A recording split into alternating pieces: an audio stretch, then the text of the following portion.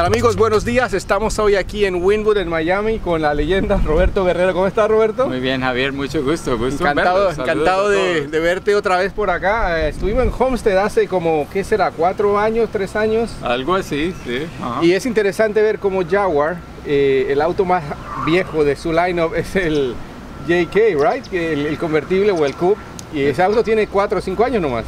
Pues el XK ya no lo están construyendo más, eh, ya salió, ahora tenemos el F-Type, el Sports Cars, uh, pero lo lindo que estamos ahora es con Jaguar se está electrificando, o sea, está haciendo todo eléctrico, tenemos el, el hermosísimo I-Pace que tenemos ahora, que es el primero que ha hecho Jaguar completamente todo eléctrico y, y, es lindísimo. Yo estoy enamorado de ese auto. Exacto, y es muy interesante ver cómo todos los fabricantes están con planes todavía de un auto eléctrico Porsche, Mercedes-Benz, Audi, por los de lujo, Volkswagen, todos los demás, pero Jaguar le ganó a todos. Exacto, Jaguar, Jaguar fue el primero, que el único que tenemos ahora, el competidor primero es Tesla, que sí. ellos tenían, tenemos Tesla comparado con el Tesla, el modelo X, es el que básicamente compite con el iPace, y cuando hicimos los entrenos con, para la gente, los vendedores, uh, los comparamos ambos juntos, el uno con el otro, el, el modelo X con el iPace, y lo destruye el iPace, de verdad que el, el iPace es increíble, es lindísimo. ¿Nos puede dar algunas especificaciones técnicas, eh, la, el equivalente en potencia? Porque obviamente es eléctrico, no tiene motor de gasolina, no tiene transmisión, por ejemplo, Ajá. ¿verdad? Pero ¿cuál es la potencia? Sí, es, es lo lindo, o sea, lo lindo como, como, como un, un auto eléctrico funciona, Ah, tenemos dos motores, uno adelante, uno atrás. Motores completamente eléctricos, las baterías están todas por debajo del piso. Entonces el centro de gravedad del auto es muy, muy bajo y es la distribución de, de peso de adelante a atrás, es 50% adelante, 50% atrás. Tiene 394 caballos de potencia la combinación de los dos, pero lo que tiene lindo es el torque. El torque tiene 512 libras de wow. torque. Pero lo lindo del torque es que si tú tienes, que es básicamente el mismo torque que tenemos en el F-Type SVR, ¿no? que sí, tiene, sí, sí. pero en el S-Type tienes, en un motor de, de, de gasolina, tienes que llevar 3.500 revoluciones para que llegue el máximo torque. Bueno, ahí vimos ruido de un avión, no del el A-Pace, que ese es otra no cosa. Es el, ese no es eléctrico. ese no es eléctrico.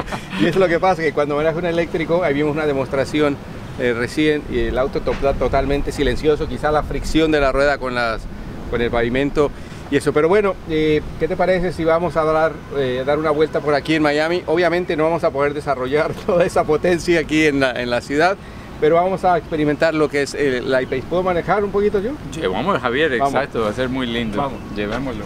Exacto.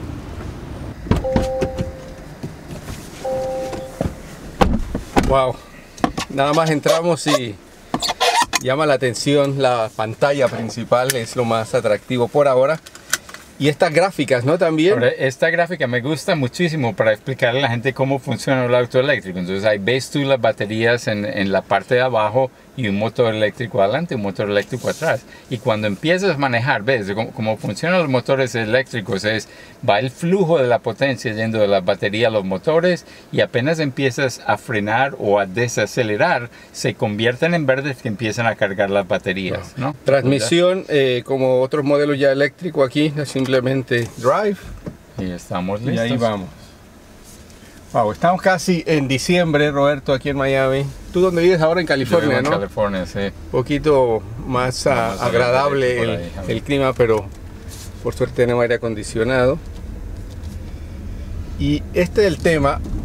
Ahí ves el torque, no, 500 torque. libras, 500 ahí libras de torque. Fuimos solamente a 40 millas por hora, pero en nada, en dos segundos. Doblamos a sí. la derecha, por favor, Javier. Y esa es la, la, gran ventaja que tienen estos vehículos. Estamos aquí en Winwood, una zona, para los que no conocen Miami, que se ha desarrollado mucho y pues, como pueden ver, mucha construcción y, y y muy moderna. En el lindo que tienen Winwood, los, los grafitis que sí, tienen sí, hermosísimos. Bueno, ahora ya no llaman graffiti, ahora es arte urbano. Arte, exacto. No, graffiti suena mal, pero el arte urbano, ¿verdad? Que es hermosísimo. Son artistas de verdad. Así que, eh, obviamente, hay mucha diferencia con un auto convencional, digamos, no. un auto de motor de gasolina, pero eh, la diferencia está en los detalles, podemos decir. ¿no? Ahí estoy poniendo un poco el aire, nos van a perdonar un poco el ruido, pero pues la verdad que está caliente, mucha humedad, vamos a esperar que se enfríe un poquito. Eh, Roberto, todavía hay algunas personas, como esto es una tecnología relativamente nueva, porque no hay muchos modelos, todavía hay mucha gente que tiene ansiedad sobre el rango Exacto, de y ese, electricidad. ese es el, es el problema mayor que la gente tiene miedo de los vehículos eléctricos. Pero yo, yo lo explico de una forma muy simple. Digamos, si tú eh, lo, lo tienes conectado en tu casa, ¿no? Entonces va- vas a empezar con una batería completa en la mañana. Sí. Tienes un rango de mínimo a 234 millas que vas a tener. Digamos de aquí a Orlando, más o menos. Exacto, sí. Ah, pero y lo digo es mínimo porque con el con el ah, con el freno regenerante Ah, claro. va a cargar la batería más, o sea que si tú no estás en una autopista todo el tiempo, ah, la batería te va a durar te va a durar más. Ahí, ahí lo noté un- enseguida, como, ah, no, aquí está cerrado. No, no, está bien. Ah, es la escuela, hay un policía aquí, pero bueno.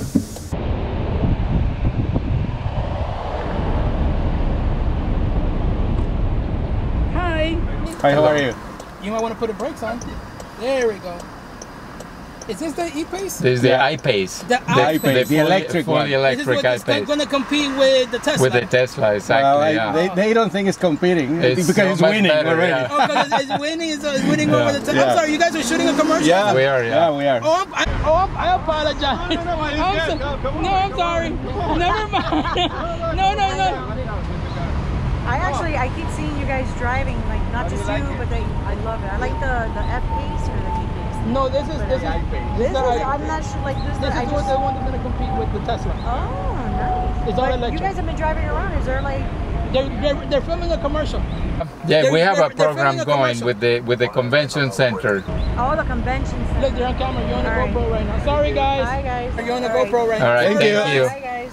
Go, go, go by the dealership. No, ahí tienes. Llama la atención, obviamente. Exacto, Creí que exacto. nos iban a multar por algo, pero en realidad nos pararon para ver el auto. Exacto, que ese es un muy buen punto de, de resultado de mercadeo, ¿no? Es muy atractivo porque es diferente. Es, es un, un tamaño entre SUV, un coupe de cuatro puertas un poco más alto, digamos, que un coupe normal. Pero muy atractivo el diseño. Sí, es muy lindo y, y esa es la gran diferencia, digamos, el Tesla, el modelo X, que verdaderamente muy lindo no es. es, es- el Sí. modelo X es- no es muy lindo y, y el Tiene, el, es tiene el, entre sí. comillas, atractivo de las puertas de gaviota esa, pero Sí. eh, he escuchado que tiene muchas fallas en Tiene el muchos sistema también. exacto, ya, sí, entonces... Bueno, aquí podemos hacer otra pequeña prueba de aceleración el- y ahí el- logramos ahí llegar a 60 millas por hora, que son sí, la, la en- en, aceleración en de- nada de y en realidad dudé un 60. momento. Es, es realmente increíble. La experiencia de manejo para quien no ha tenido la oportunidad de estar en un auto eléctrico es eh, altamente recomendable porque es muy diferente, ¿no? O sea, Es no, no- no sé, quien no, no ha tenido la Sí. oportunidad real, es, es difícil de explicar a veces, Sí, ¿no? La única forma es manejando. Sentirlo, Es verdad, sentirlo, Cuando sí. lo manejas tú es cuando es.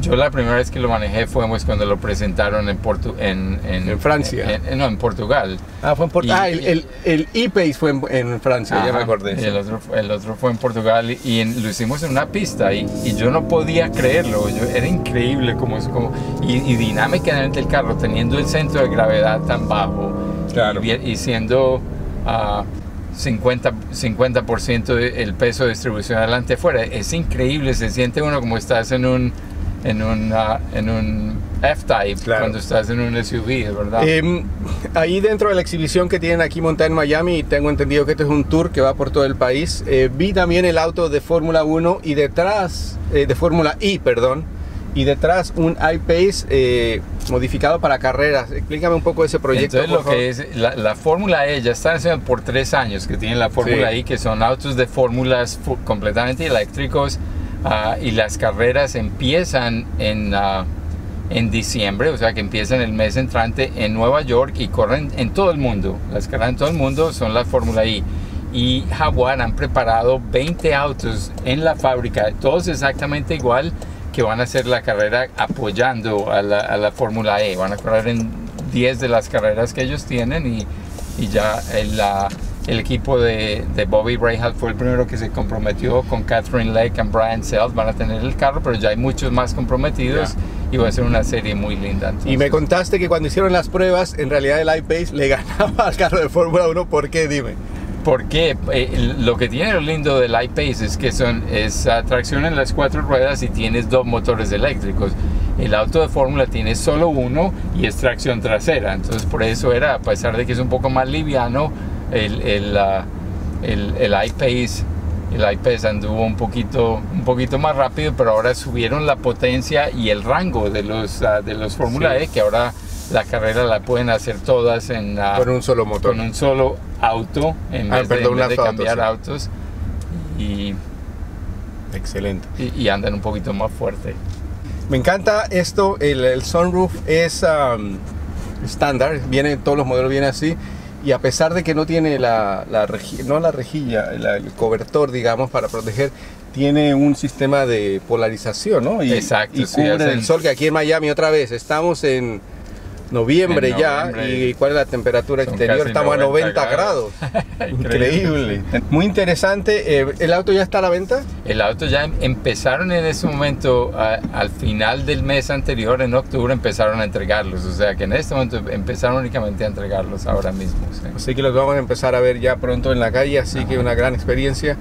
Y mm, un placer otra vez manejar contigo, Roberto, y vamos a seguir disfrutando aquí en Miami, en Winwood, de la Jaguar I-Pace. Una cosa, la, única queja que tengo con Jaguar, ¿sabes cuál es? Que primero salió el E-Pace, que es auto de gasolina. Ajá. Después salió el I-Pace. Y entonces, ¿por qué el I, que es eléctrico, debería ser este, no? Exacto, es verdad, es muy confuso, yo no sé, y esa es una de las cosas que tienen con Jaguar, la, la, la nomenclatura de los carros es muy confusa, tienen el, el, el F-Pace y tienes el F-Type y tienes el XF, entonces la- son, son un poquito confusos. Sí, pero las, lo que no es confuso para nada es eh, el, el progreso, el desarrollo que ha tenido Jaguar en los últimos 10 años, desde que se separó de Ford.